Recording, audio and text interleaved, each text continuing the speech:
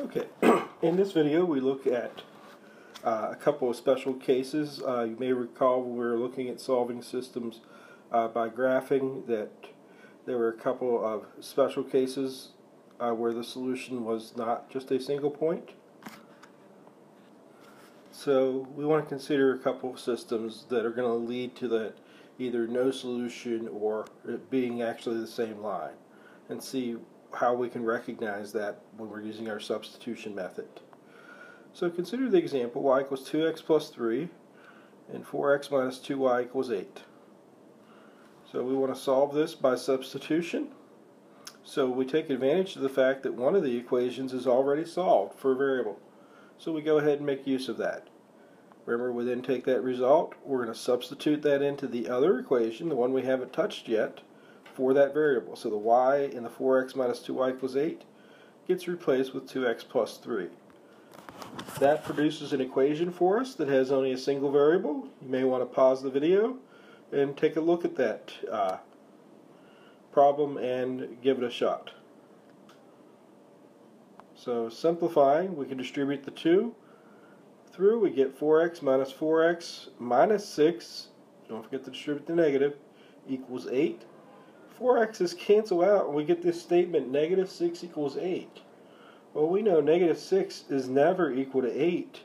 So what's this really saying? Well, if we go and graph our two equations, we actually see that our two equations are parallel lines. In other words, they're never going to cross. So when we're solving a system and the variables disappear like this, the variables disappear like this, that's our indication that there is no solution. These two things are parallel lines. They're never going to cross.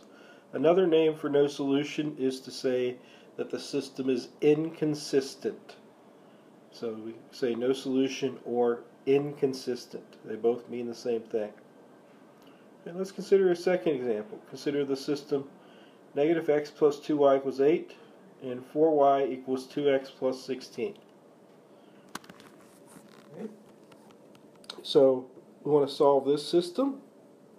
So again, we begin by solving uh, for one of our variables.